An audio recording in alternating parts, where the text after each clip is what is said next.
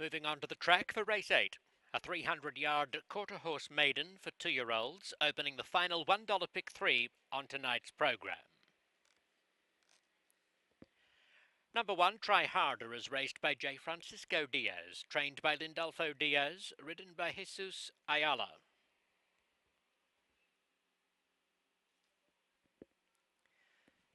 Number two, CHA Political First, owned by Ana Cortez, trained by Felix Gonzalez, ridden by Julio de la Torre. Three, Foreign Policy, for Roy Roybal Racing, Jaime Gomez trains, Oscar Peinado rides.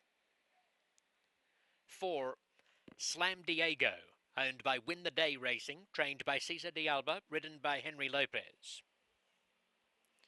Number five, Purple Rain, represents Dun Ranch, is trained by Monte Rosa, guided by Armando Cervantes. Six, AJ Apocalypse, the property of Rancho El Cabresto. Juan Alaman applies the polish, Irving Lara does the steering.